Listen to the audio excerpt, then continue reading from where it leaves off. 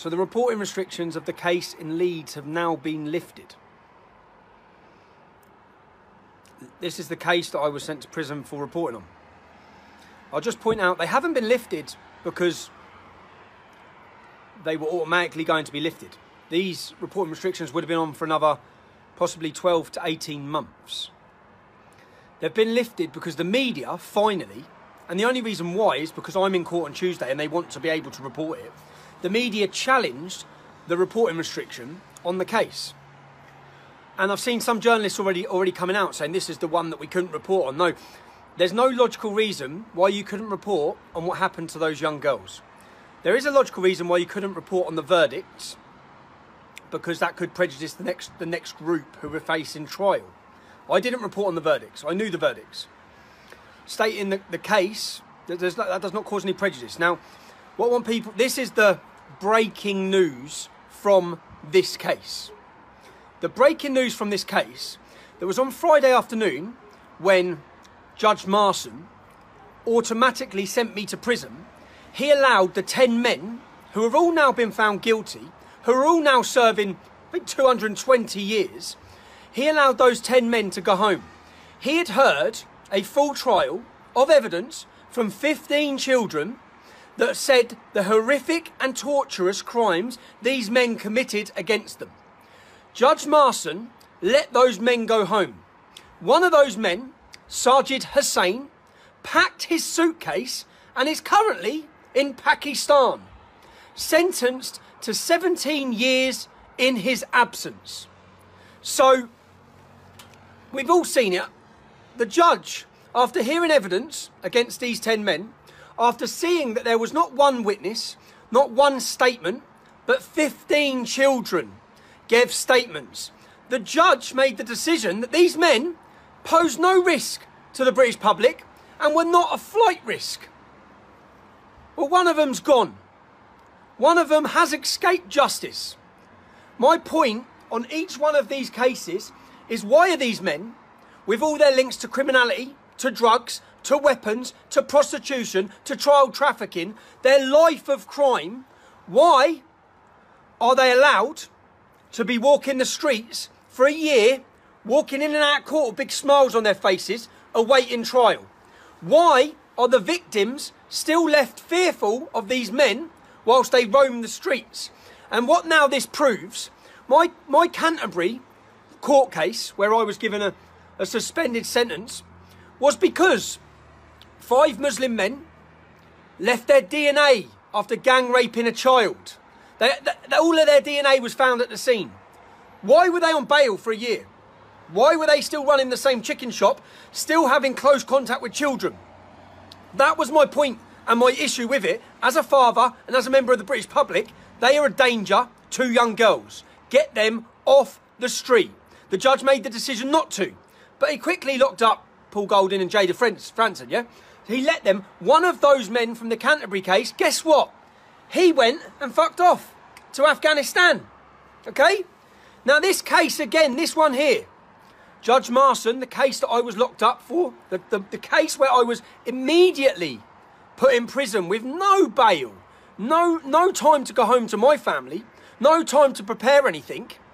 Well, one of the men, Sajid Hussain, packed his suitcase. And I've known this for weeks, but I haven't been able to say it because I've got the transcripts from the court trial. And the police say Sajid Hussain was last see- seen leaving his house with two big suitcases. He's been convicted of 17 years in prison and he has escaped justice. But uh, turn the turn the table. I they acted like I was the danger. Everyone acted like it. The press, the media, the establishment, the, the, the, judge. I was the problem. I was the danger that I needed taken off the street. Meanwhile, all these men have been convicted. They have all been convicted of raping 11 year old children upwards, 15 young girls. That's 15 that come forward. They have been they have been convicted, and now the media are saying, "See, this is why all acting like they've done a great job. This is why we didn't report it." Now you didn't even challenge the restriction. You've only challenged the restriction now. And I bet my life that there will be no future case that has such a blanket reporting restriction in that way. Because I hope that the media will challenge it or people will challenge it. Because why were the public for the last year not allowed to be told the ins and outs and the crimes of this case? Why couldn't it be publicised? Why not? Why not? If you don't give the verdicts, which I never done, which is what they're all saying now, the only thing they weren't allowed to give was the verdict. Okay, so why couldn't anyone talk about it? Why couldn't you even open your mouth without breaking a law? That's not freedom. That's not freedom of the press. That's not a free society. My, my concern lays with preventing these crimes. To prevent these crimes, every young child and their mum and their dads and their, their sisters, everyone must understand the complexities of these trials. They must understand the common links between every single one of these trials. They must understand the signs that their children are being targeted by these gangs. They must. And it would help if they were publicised to the whole entire world as much as possible, not being hidden. Not all you're going to get now. You'll get one day's news. That's what you're getting. You're getting one day's news. Bang. All the newspapers will think, well, we done our job. We reported it. No, you could have reported throughout that trial if you challenged the reporting restriction. You could have reported the horrific crimes, the racial motives, the religious motives that will come up in all of these trials, the comments they make to these children all of the telltale signs, how they meet the children, how they groom the children, the signs they play, the way they torture them, the way they manipulate, manipulate them, the way they separate them from their families. There's, it's, a, it's a process that happens in every single one of them. And there are telltale signs that you, you, that you can recognise if this was happening to your daughter at the start of it. When they're all being nice for the first six months, they're being nice and they're buying them new TN trainers and they're buying them presents and new mobile phones. All of these signs. But anyway, the reporting restriction has been lifted. And the only reason it's been lifted is because I'm in court on Tuesday. That's it. Nothing else has changed. That's it. It's not like we can't say, again, I can't say because there are still certain things people can't say. But that's it. It's been lifted because they want to try me on Tuesday and send me to prison. It's been lifted. Because then they want to be able to report everything about that.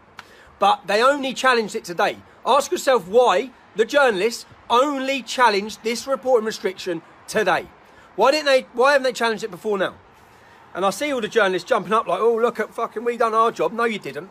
No, you didn't, and no, you haven't. And you're still trying to bend the facts. And again, out of those 20 men, out of the 20 men convicted, just just as fits in with the, the actual facts of all of these grooming trials, 90% were Muslim men. Okay? And again, 20 or 30% were called Muhammad. I'm pretty sure. Go through the list of names yourself. I think there's two non-Muslims in the group of 20. Okay, this is, which is the facts. The facts. One that this is one of the facts. I'm actually being prosecuted by a judge by on Tuesday for stating out that fact. Unfortunate fact, but it's a bloody fact. So that it winds me up because I think one of these men has gone. Why was he on bail? The British public the press, why are you not? Uh, have you seen any of the press? They've all started running their stories. Have you seen any headlines about how one of these men has escaped justice? How one of these men who's sentenced to 17 years in prison, on the day, on the day that I got remanded from that court, he was allowed to walk out of court, go home, pack his suitcase, after Judge Marson had heard six weeks of evidence from 15 victims, not one. It's not like if there was one girl she could be lying. 15! 15 evidence, evidence from 15 women. And he was allowed to pack his suitcase and go home. And go, and go back to Pakistan. Well done, Judge Marson. Well done. And that's my point entirely. My point on all of this has been the protection of the British public and the protection of young girls. As I said, I said outside court, one of those men who's just been sentenced to 228 years was still in contact with young English girls. Well, young girls anyway. He was still in contact in a business, he was still working in a business that had direct contact with school children. That's my point. So, anyway, I'm going to stop ranting because I'm going to be having a weekend away with my kids, but I've just seen it all breaking on the news. And I thought, why are none of them, why are none of them making a massive deal out of the fact that one of these men, they shouldn't have bail. Why are they on bail walking the streets? I didn't get bail.